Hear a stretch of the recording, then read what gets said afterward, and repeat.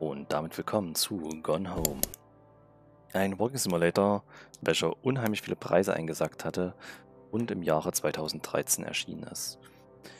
Es wird ein ruhiges Spiel sein, wo wir durch ein Haus marschieren und anhand von Dokumenten, vielleicht auch Audioaufzeichnungen, das weiß ich nicht, langsam eine Geschichte rekonstruieren können über ein paar Protagonisten. Bitte erwartet hier nichts Abenteuerliches, es ist wirklich ein langsames Vorankommen. Es wird kein ähm, What Remains of Edith Finch werden, aber ich wollte es endlich mal spielen, da ich viel Gutes davon gehört habe, aber noch nirgendwo mir das Spiel angeschaut habe. Demnach, wir fangen an. Neues Spiel. Ja, ich habe nochmal Probeweise ganz gemacht. Man kann optionale Einstellungen noch machen. Das ist ganz lieb. Da kann man Dinge, die dunkel sind, sofort mit Licht anschalten für Leute, die Angst im Dunkeln haben. Also man merkt schon, das Spiel soll wirklich einer breiten Masse zugänglich gemacht werden.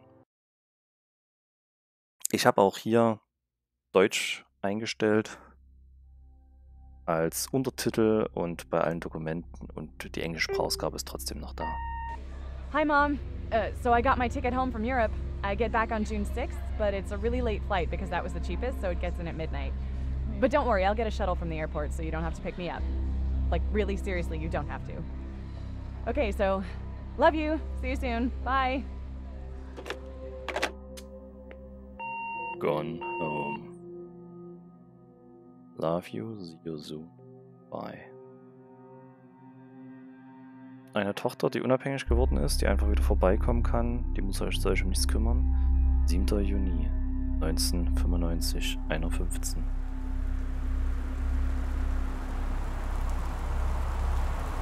Und hier sind wir.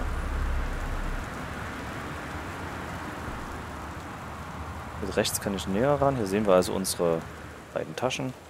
Guck mal das Muster an. Wer hatte sowas nicht gehabt damals? Ein Teppich. Egal.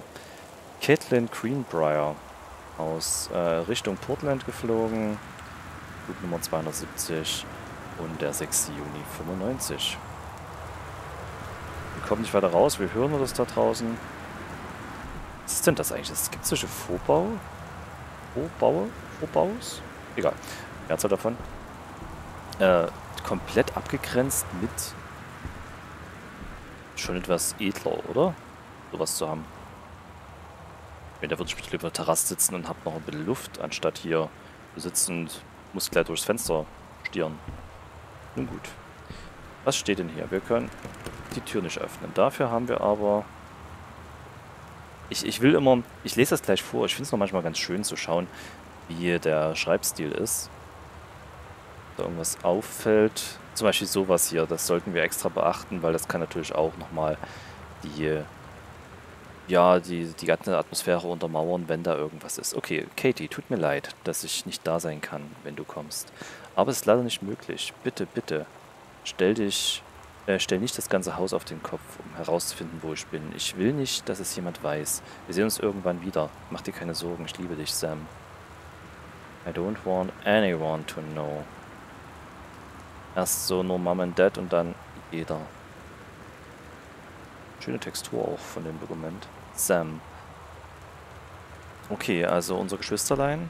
Und Sam kann doch Männlein wie Weiblein sein, meines Erachtens. Sammy wie auch Samuel. So, wir brauchen jetzt erstmal einen Schlüssel. Und typischerweise die Amis werden doch... Moment. Ah, wir haben jetzt C, können wir uns hinkauern. Okay. Licht einschalten. Tür öffnen. Was ist das denn? Weihnachtsbeleuchtung. Und eine Weihnachtsente.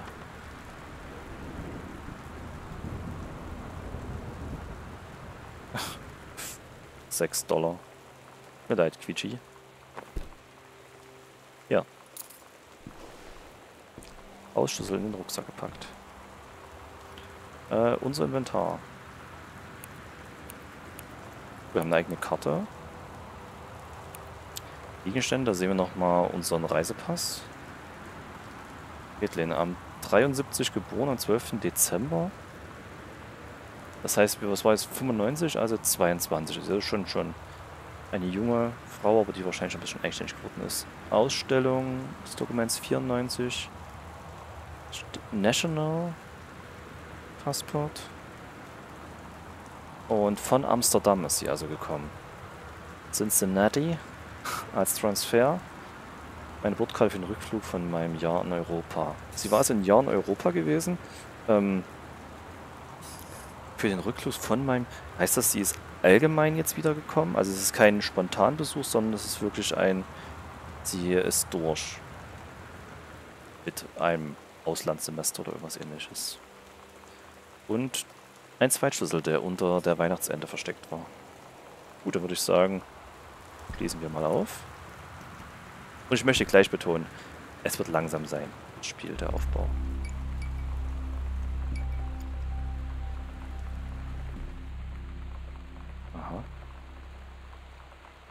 Warum gehen die Lichter an, wenn ich reingehe? Gibt es hier irgendeinen Bewegungsmelder?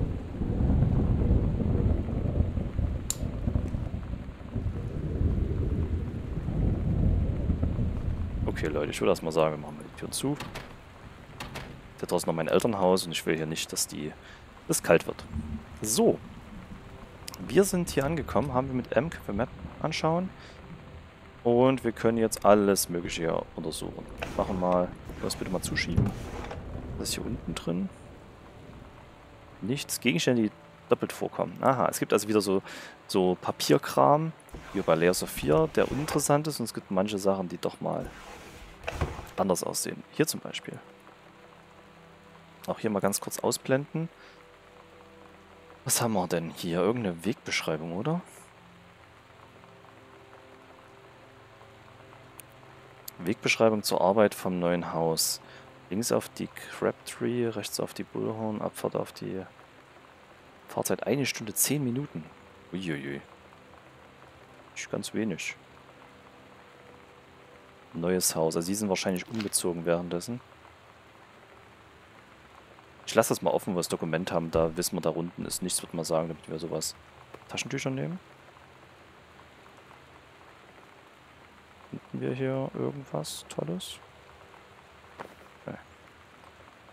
Kann ich hier irgendwie auch was versauen, indem ich einen Gegenstand aufmache, durch die Gegend werfe und nicht mehr rankomme? Oh, Karte lesen. Wow, das war ein cooler 17. Geburtstag.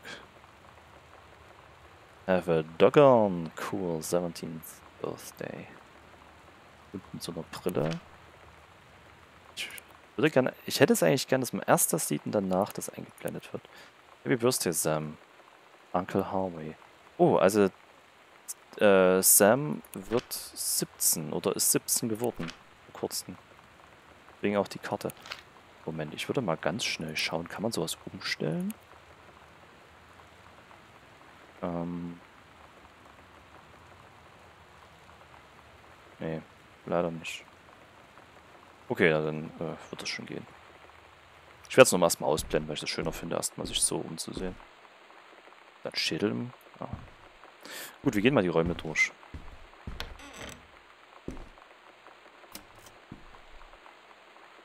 Laut Karte ist das einfach nur ein kleiner aber kommt das, kommt das erstmal jetzt abseits dessen, ist es schon ein ganz schönes Anwesen.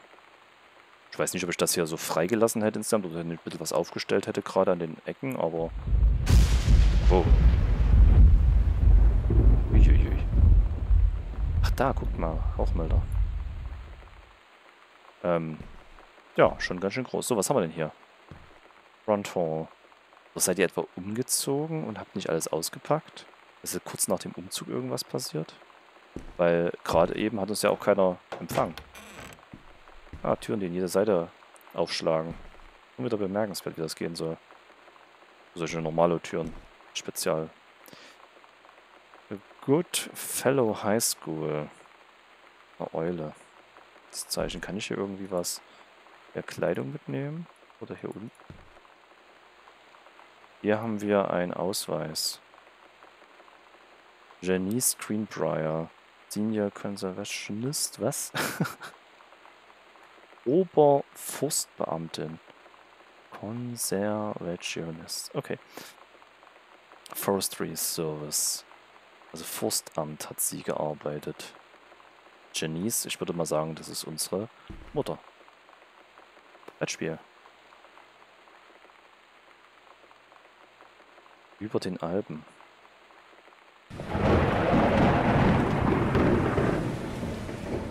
das Ding auch öffnen. Also zwei bis sechs Spieler. Nein, es kann sein, dass ich irgendwie so einen Gegenstand finde und dann später noch was da drin suchen muss, aber.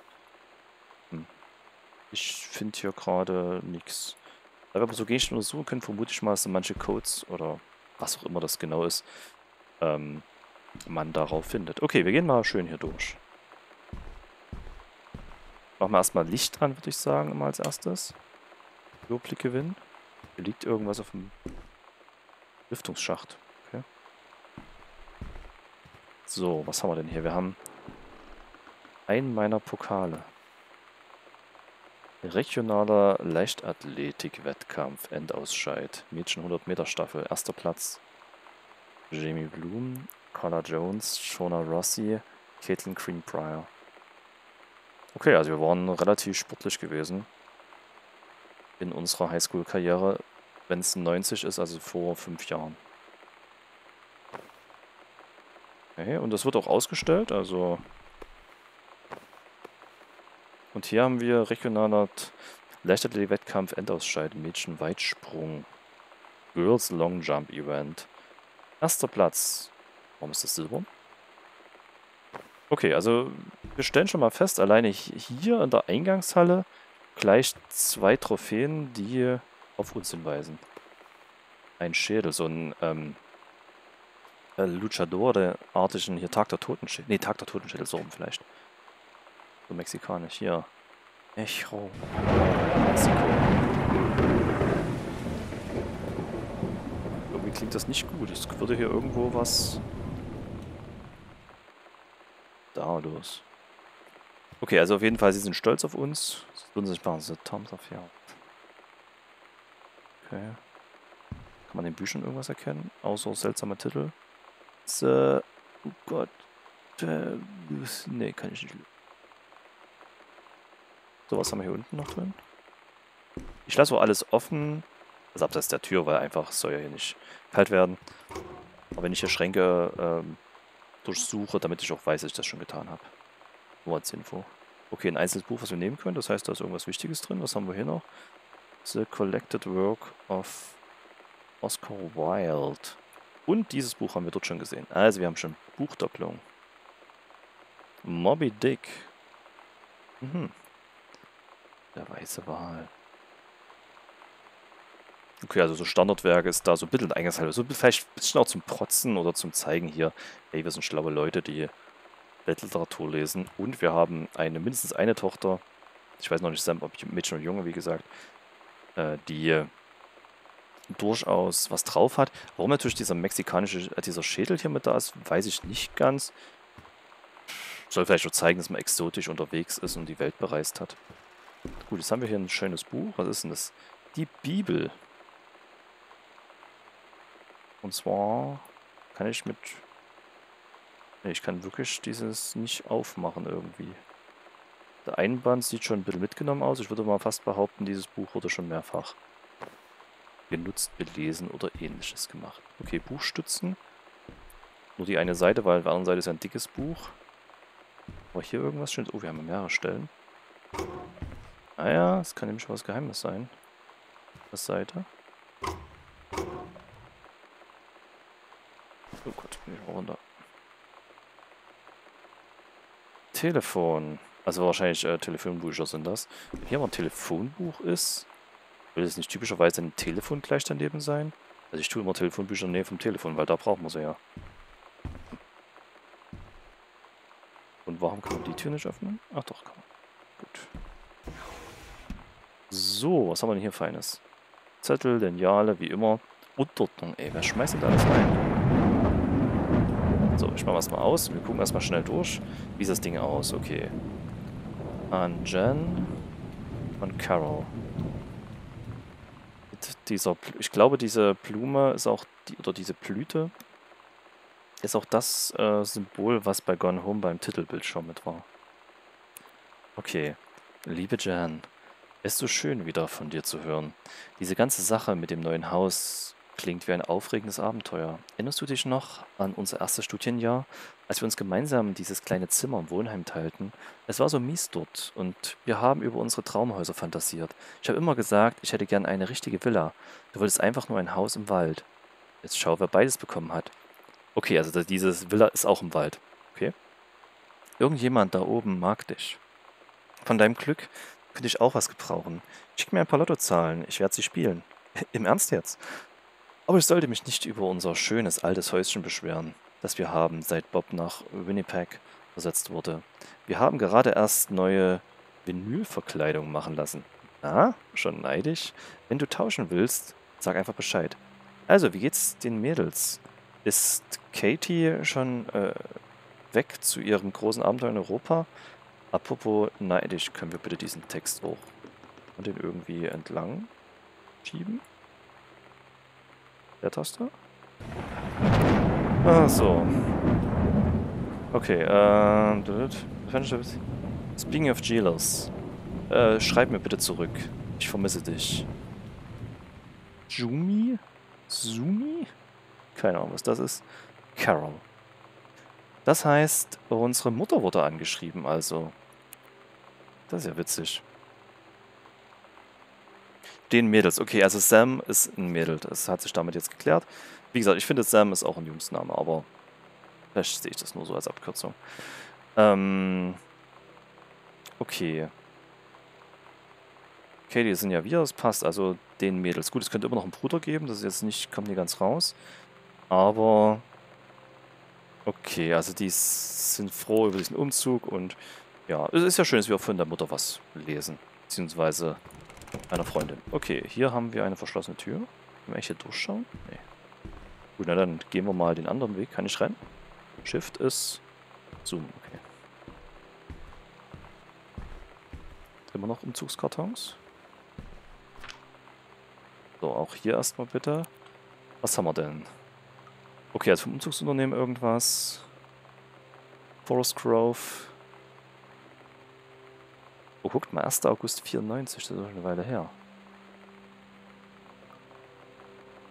Teuer das wurde. Kosten.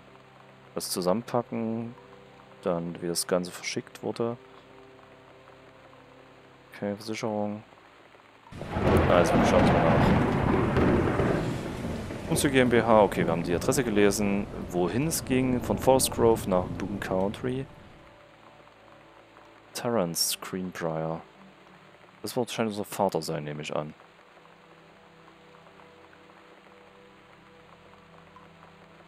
Liste der Transport, Küche, Schlafzimmer, Kinderzimmer, Übergewicht, Bibliothek, also soll wahrscheinlich auch heißen, dass natürlich viele Bücher sind. Büro, zwei Fernseher, weiter. Muss nur kurz gucken. Destination Country. From Forest Grove nach Boone Country. First Arbor Hill. Moment, jetzt muss ich mal ganz kurz das verstehen. Das heißt, das ist unsere Adresse hier, oder? Destination, also Zieladresse? Dear Katie, Achso. so much has changed, even just since you've been away. We moved into this house. I'm in a new school. And my big sister being gone for a year doesn't make it any easier. It doesn't feel real. But I'm not gonna let it phase me. I used to tell you everything, and if I can't do it in person, because you're off gallivanting around who knows where, I'll tell it to this journal. Just like I was talking to you. Und wie lesen wir das? Wie kriegen wir das mit? Einfach so. Okay. Taucht euch jetzt auf und das könnten wir uns nochmal anhören. Okay, sie hat also, wir haben auch ein gutes Verhältnis mit unserer Schwester gehabt, wie es hier rauskam. So wie ich das mal deuten würde. Okay. Können wir hier Licht machen? Danke. Eine Schanzseife nutzen. Klospülung betätigen. Erstmal die wichtigen Sachen im Bad machen. Nochmal Hände waschen. Und fort. Können wir die Toilette öffnen? Okay, erstmal gucken, ob wir Psychopathen wohnen. Wo hängt das Klopapier? Okay, habt ihr clever gelöst. Ich sehe es nicht. Ihr wisst ja noch, Last from Beyond, da war ja einmal das auf der anderen Seite. Kein Wunder, dass die alles verrückt waren. So, was haben wir denn hier Feines? Ein Magazin. Mensch, aus. Autorenmagazin. Stephen King. Ah, The, Black, the Blank Page. Wie 20 Top-Autoren, die für sich eingenommen haben. Okay, also wenn unsere Mutter ähm, in der Forstwirtschaft arbeitet, wird unser Vater also Autor sein, nehme ich an. Von 95 ist das Magazin. Kann ich das noch ein bisschen... Ich kann noch ein bisschen drehen, schade. Ja, Punktbewertung, Gewinnspiele, Preisen, ja, ja. Ja, ist klar. Vielleicht waren... Oh, Papier. Softglas. Oh Gott, das Kind sieht ein bisschen... Okay, weiches Toilettenpapier. Dieses Geld. Now Sticker. Hm. Toll. Ja, das Typische. Wahrscheinlich hat er ein paar Erfolge gehabt, dann gab es Schreibblockade. Oder, ich sage jetzt einfach mal so, Schreibblockaden sind ja dann das Typische. Stephen King behandelt sehr viel in seinen Romanen Schreibblockaden, die er auch hatte und wie seine... Es gibt einige Bücher, wo seine, seine ähm, Protagonisten gerade nach vielen Bestsellern irgendwo sind und halt einfach auf die tolle Idee warten und dabei halt irgendwas passiert ringsrum. Also da das merkt man dieses leidtragende Motiv. Okay, Toilettenpapierrolle, ist klar. Einfach nur ein paar äh, Pflaster. Das ist auch nicht so, das ist nochmal eine Pflasterpackung. Handseife, Reinigungspulver. Viel hier. Okay. Äh, äh, kann ja auch sein, dass sowas mal wichtig ist. Wenn hier irgendein Medikament oder sowas, was hier genommen wurde. Aber es sieht erstmal nicht so aus. Ich würde ja auch sagen, dass das ja eher die Gästetoilette hier ist. So. Dann mache ich hier mal Licht. Das ist eine sehr dunkle Ecke hier. Und warum hängen hier eigentlich so wenig Bilder an den Wänden? Ich meine, die sind... Von 94 ist das hier gerade mit dem Umzug. Im August. Wir haben jetzt schon Juni 95. Sollte da nicht hier irgendwie schon ein bisschen mehr eingeräumt sein? Oder möglichst minimalistisch? Okay. Gut. So, es springt jetzt mal ins Auge, deswegen würde ich gerne mal das Familienbild mir ansehen. Okay, haben wir Sam, Katie, Mom and Dad. Jen und Terry. So, die gute Jen, also uns haben wir ja gleich erkannt. Ähm, die gute Jen, die wir auch auf dem Foto haben von der Furst. Äh, Fursterei, sag ich mal. Ehering. Er hat einen Ehering. Das ist auch mal interessant. Vielleicht hätte ja einer von beiden keinen, was schon sieht, dass das vielleicht nicht mal oft getragen wird oder dass da irgendwas passiert ist. Ähm, er im Anzug, also schon ein bisschen edler gehalten. War auch schon die Jahre gekommen mit Brille. Grau. Und hier ist halt noch die zweite Tochter. Die ein bisschen angestrengt lächelt, oder? Wie seht ihr das? Ich finde, das wirkt ein bisschen unecht. Hat auch ein weites... Guck mal, die wirkt... Also unsere Katie, die wir sind, die wirkt feminin, auch mit ihrer Kette. Wie die Mutti so ein bisschen. Die jüngere Schwester die Haare nicht so hübsch gemacht. Ein weites Hemd an. Ah, das riecht, das riecht so. Mal gucken, ob das wird. Nach irgendeinem Persönlichkeitsproblem. Vielleicht will sie kein Mädel sein. Sage ich jetzt. Erste, erste Überlegung, wenn ich dieses Bild sehe. Aber okay, schauen wir mal, was daraus wird. Gut, dann fangen wir mal hier an. Eine Topfpflanze. Unten haben wir wieder noch ein Telefonbuch. Ja, ihr könnt die drüben... Oder ist vielleicht ein anderes Jahr? Ich will jetzt nicht komplett bösartig sein. Nee, weil drüben war ja auch eins gewesen. So, in der Schublade haben wir ein paar Stifte. Oh, Physics. Moment. So, was haben wir denn? Notfall Timetable. 1. Juni 94. Hat das überklebt, damit man jetzt nicht irgendwelche Nummern wählt. Ja, ja. Und hier von nach Amsterdam.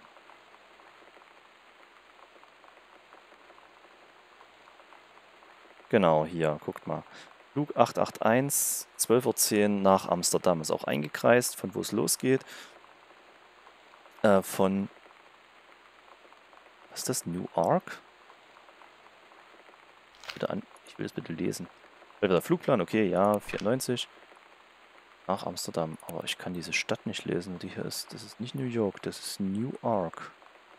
Okay, Cincinnati. Ach nee, wir sind ja über Cincinnati zurückgeflogen auch. Haben wir vor uns gerade gelesen. Das heißt, wir sind von Amsterdam nach Cincinnati und dann hier. Es wirkt hier aber anders. Weil die Linien scheinen direkt von hier zu kommen. Okay, aber sie haben sich das auf jeden Fall aufgehoben. Es war halt für sie auch was ganz Besonderes, dass ihre Tochter da diesen langen Flug nach Europa angetreten hat. Auch mit der Zeitzone haben sie geguckt, ob es da irgendwelche Probleme gab. Ähm, so als Erinnerung. Ist ja auch schön. Okay, was haben wir hier drin? Nix. Hier auch nicht. So, was haben wir hier? Okay, einmal äh, relativ schöne Handschrift und dann nochmal eine Antwort wahrscheinlich von äh, der Tochter. Sam, dein alter Freund Daniel hat angerufen. Er möchte herkommen und sich das neue Haus ansehen. Ruf ihn zurück. Das hat also wahrscheinlich die Mutti geschrieben und danach Sam, Mom, Daniel ist ein totaler Spinner. Als wir klein waren, habe ich nur mit ihm abgehangen, weil er ein Nintendo hatte. okay. Die Eltern wollten das gerne auch, dass vielleicht die befreundet sind oder der Daniel hat einfach Interesse gehabt. Weiß ich meine, hm, aber da war sie ein bisschen vorsichtiger. Interessant. So, Nachricht. Sam. Sam. Hello. Sam.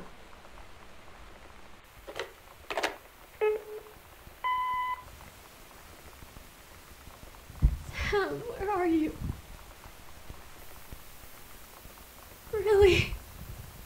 I need to talk to you. Please be there.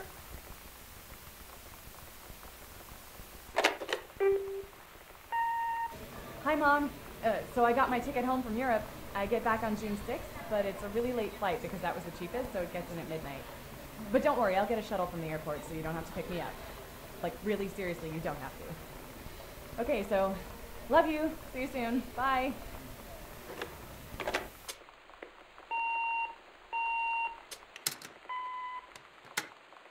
Moment. Die erste war eine Nachricht, ich muss mit dir sprechen. Die zweite war irgendwie, also so ein bisschen spielerisch. Die zweite war verzweifelt. Wahrscheinlich von Sam. Und die dritte waren wir gewesen. Also irgendwas ist da vor, kurz auf, vorgefallen. Das Dumme vor allem dabei ist, muss ich ehrlich sagen, dass hier keine Zeitangabe dazu war. Das hilft uns gerade wenig weiter. Wir können ein Telefon nehmen, aber können damit nichts machen. Ist das nicht ein bisschen schief hier drauf? Egal. Das musst du wissen. So, was kann... Oh. Kann man hier eigentlich speichern? Okay, es kann wahrscheinlich nichts Schlimmes passieren. Licht einschalten. So. Hier sind jetzt also... Nicht ja nett, dass hier auch das Schloss angezeigt wird. Wir finden uns also jetzt hier gleich in dem linken Bereich. Kommt da irgendein... Okay, der Gang. So. Was haben wir denn hier? Ah, eine der Postkarten, die ich geschickt habe. Aus Paris. Hi, Mom, Dad und Sam. Ich mach mal so rum, weil da kann ich es besser lesen. Ich bin in Paris. Ich habe viele Paris-mäßige Sachen gemacht. Zum Beispiel Le Petit Déjeuner essen und ein Beret tragen. Äh, ich werde jede Menge Fotos haben, wenn ich wieder zurück bin. Sam, ich bring dir was von Shakespeare Company mit, weil du meine Lieblingsschwester bist. Mich alle liebt, Katie. Na gut, bei einer Schwester ist es schwierig zu sagen. Äh, Mom, Dad and Sam. Weird, Arbor Hill. Ach so, wahrscheinlich, ähm, wahrscheinlich, weil es eine andere Adresse ist, ist es ein bisschen komisch, dass sie halt das woanders hinschicken muss. Ich gucke mal ein bisschen auf die Schrift, ob da was auffällt. Also vom äh, 2. August 94. Pavillon. Und halt, schön, die Karte liegt da. Aber warum liegt sie einfach nur da und ist nicht irgendwie die Wand gehangen? Also, sowieso, was ist hier schon wieder los? Ich finde das hier ein bisschen karg. Aber wenigstens Feuermelder, immerhin. So, fangen wir mal hier schön an. Moment, da höre ich einen Fernseher oder so.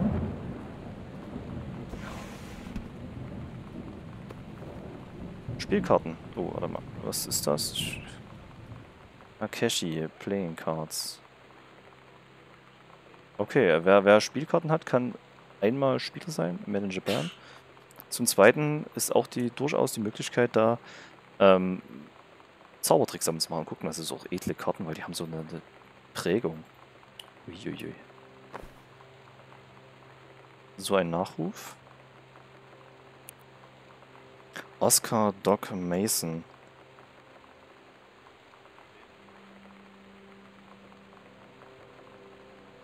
Okay, da ist man mal durch.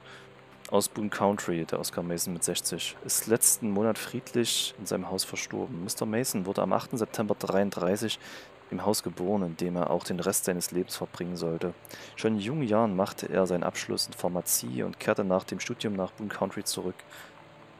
Boone County, nicht Country, sondern County. Sorry, wenn ich es falsch gelesen habe. Schon bald wurde er eine vielgeliebte Person des öffentlichen Lebens. In den Jahrzehnten vor seinem Hinscheiden sah man ihn nur selten sein Haus verlassen. In der First Methodist Church wird an diesem Sonntag um 13 Uhr eine öffentliche Gedenkfeier stattfinden. Alle sind herzlich eingeladen. Er hinterlässt unter anderem seinen Neffen Terence Greenbrier sowie im Geiste die Menschen von Boone County, denen er so viel Freude und Wohlbehagen gegeben hat. Seine Neffen. Okay, also das ist die familiäre Bindung mit uns. Aber er hat Pharmazie gemacht. Sah man ihn nur selten sein Haus verlassen. Also, äh, ja, also er war angesehen als Apotheker, aber abseits von, der von seiner Arbeit ist er halt irgendwie kaum aufgetreten, heißt das ja für mich. So würde ich das deuten. Schwierig sowas. Oh, Stift darf ich nehmen. Aber kann ich auch sein lassen. Okay, muss man echt mal gucken, was man alles aufnehmen kann. Hier ist noch ein Foto. Das müsste... Mal, das Soto. Ist das Sam? Oh, das Soto ist ja komplett anderer Name. Nee, das ist irgendjemand anders. Vor allem mit Armeeuniform. Nee, ist nicht Sam. Sam sah anders aus. Wir hatten ja gerade gesehen. Okay. Warum ist ein Bild von einem Mädchen hier? Okay. Ich würde das Bild mal nehmen und vielleicht da oben hin tun. Sagte er und schmiss es weg. Können wir das bitte... Können wir das bitte drehen und dahin werfen? Danke. So. Ist ansonsten hier noch was? Ich mache mal den Gang, würde ich sagen, bevor wir in die Räume gehen. So, ein Text. Zerknüllt. Oh, das, das ist... Äh, zwei Leute haben mir kommuniziert damit. Okay. Hey, bist du die neue Sam? Ich bin Tommy von hinter dir. Winke, wenn du das gekriegt hast und schreib zurück. Ah, okay, ein Junge hat Sam angeschrieben. Okay, im Unterricht wahrscheinlich. Hi Tommy, ja, ich bin Samantha. Und ja, ich bin neu. Was gibt's? Ich dachte nur, weil du neu bist, könntest du vielleicht einen Freund gebrauchen. Ich habe auch nicht viele Freunde, Schreibfehler. Und deshalb, schreib, Moment. Ist das vielleicht hier auch? Friends. Ah, okay, die Schreibfehler sind hier. Either and so I thought I'd ask something if you... Okay. Ähm, deshalb dachte ich, ich frage mal, wenn es dich nicht stört. Auch viele Rechtschreibfehler, wenn you don't. Okay, so viele sind hier nicht. Definitiv. Äh, stürzt dich? Ja, nein. Nein, stört mich nicht. Was möchtest du denn fragen? Also wir sehen auch hier, stürzt dich? Nein. Ui. Ist nur dein Onkel ein Psycho oder liegt das bei euch in der Familie? Alter. Was it just your uncle who went psycho? Uh, or does it run in the family? Übrigens, der Junge hat eine übelst schlechte Handschrift. Mit Fehlern. Okay, das ist ja mies. Also die hat ja angefangen und gleich gab es die Frage, hey, sag mal. Kein Wunder, dass es zerknüllt wurde und zerrissen wurde, diese Notiz. Oh, oh, also mit dem Onkel war irgendwas Seltsames. Uh, der Gang ist ja doch ein bisschen länger. Okay, ich würde sagen, für die erste Folge sei es das erstmal gewesen. Äh, wir werden in der nächsten Folge erstmal den Gang fertig erkunden und dann langsam die Räumlichkeiten hier durchschauen, äh, in der Hoffnung, dass wir langsam erkennen können, was ist mit dem Onkel passiert, warum ist hier gerade weder Sam noch unsere Eltern da und warum gab es diese seltsamen Anrufe. Bis demnächst, euer Landito. Tschüss.